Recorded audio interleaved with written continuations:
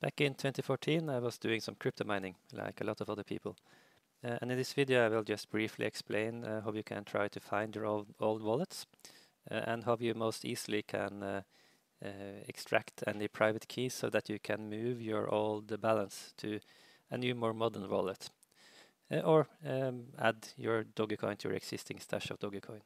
Hopefully this video is useful for somebody. Um, I spent a day uh, figuring out uh, how to do this and I was thinking that this was a little bit too complicated and a little bit too scary.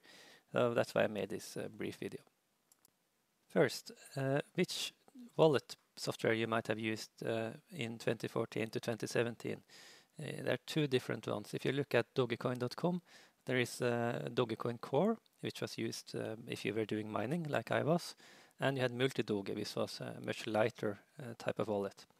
Uh, and these two had the different wallet files. First, first show you how to uh, find the files on Linux, and then I will just briefly explain how we can do the same on Windows.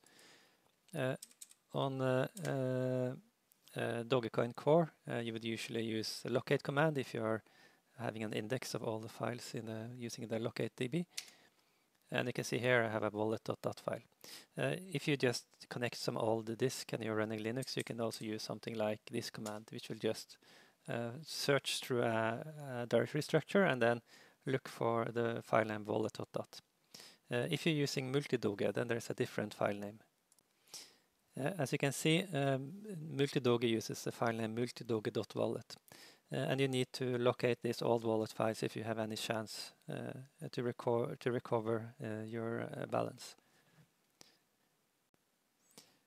Uh, on Windows, you would basically have to navigate to the hard drive with where you believe the wallet.dat file is, and then you can search for it, like this.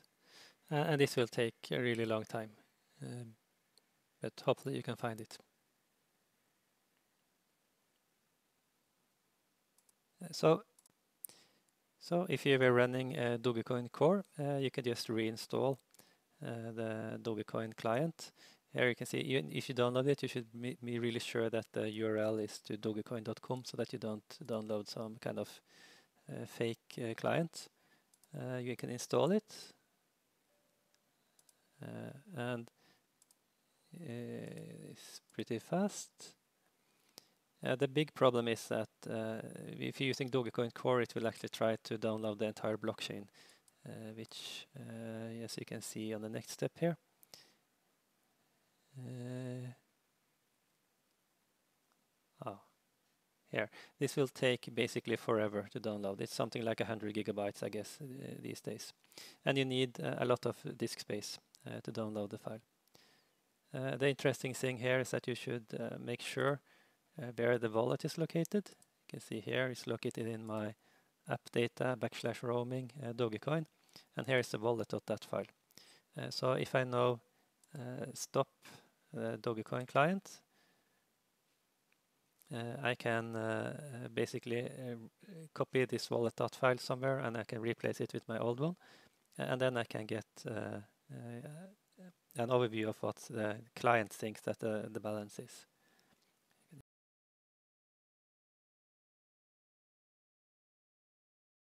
So here is uh, the uh, startup screen of the Dogecoin core.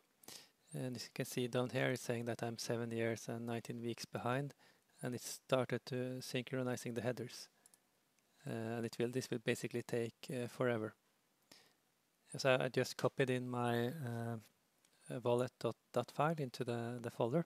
So it doesn't know anything about my recent transactions or about my balances and it won't uh, update, uh, as you can see here, uh, the displayed information may be out of date. Your wallet automatically synchronizes with the Dogecoin network after a connection is established.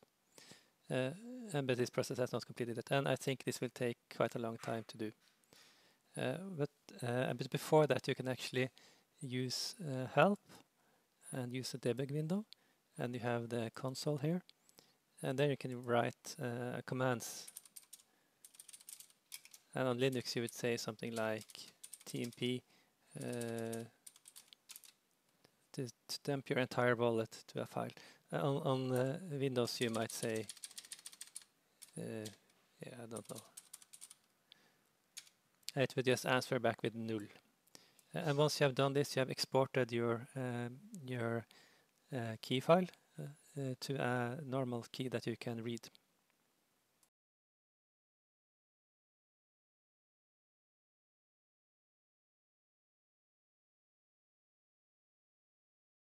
So here is an example uh, of such a file. Uh, I've added some X's because uh, just to make it a little bit more obfuscated. the first column here is the, the private key.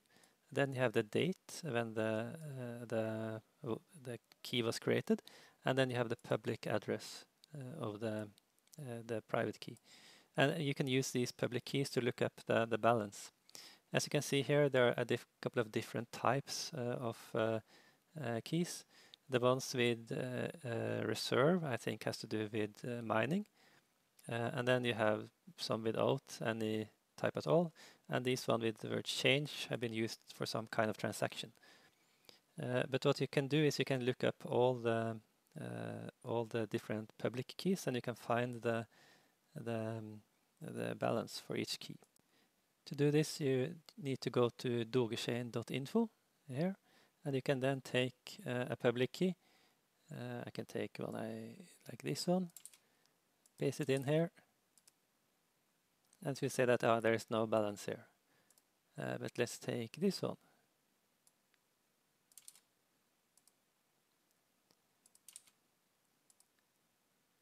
Yeah, 178 Doge. So this is uh, uh, somewhere I, I, did some experimenting with.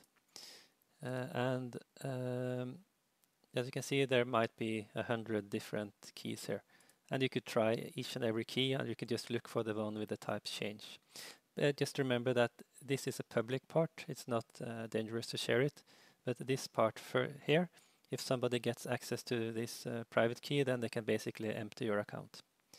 Uh, so once you have the, um, uh, the private key, it is possible to import this key into some other uh, type of software.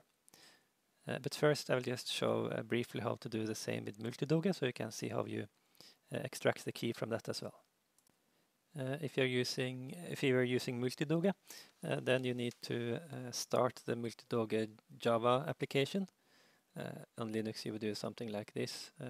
on Windows, you need to download the Java runtime environment, and then you get the Multidoge user interface and it's trying to connect and synchronize with the network. In my experimentation, I never got it to uh, to properly synchronize. So I, I, don't know, but you can export your private keys, uh, and then you can have a, a file here where you, could uh, can get the information about the public and the private keys.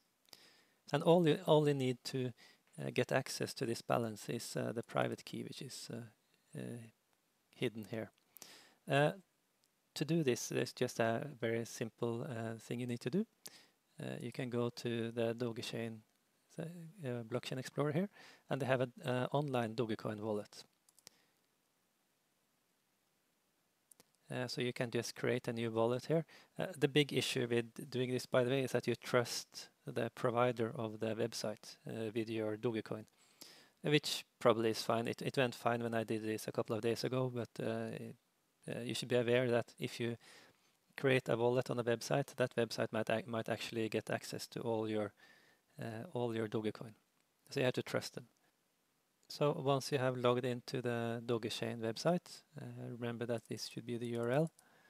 Uh, then uh, you can actually import your old um, uh, private key. So as you can see here, then you just take this first column. I won't show this, but quite, but you go in here, import a private key. This one is invalid because it's secret. But uh, once you have imported it, uh, you can actually just click refresh. Click refresh and then you can see that you have 178, 179 uh, Doge connected to your uh, Dogecoin uh, account. So the next step is, uh, I, I, don't really trust having Dogecoin in a wallet like this. Eh, so eh, what I did was to move it to a bigger um, cryptocurrency um, trading platform.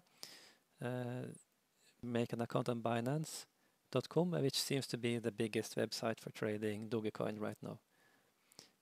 So after you have logged into this website, you can go to wallet, Fiat and Spot and then you can uh, search for the uh, Dogecoin and you can uh, say deposit. So as you can see here, uh, uh, uh, I, don't have any Dogecoin from before, but I have a public address, and this is a public address on the wallet that I have on Binance. So if I, I take this address, I go back to the here, then I can send myself the uh, the Dogecoin uh, on on the um, from the Dogechain website. So I have 179.80 send money.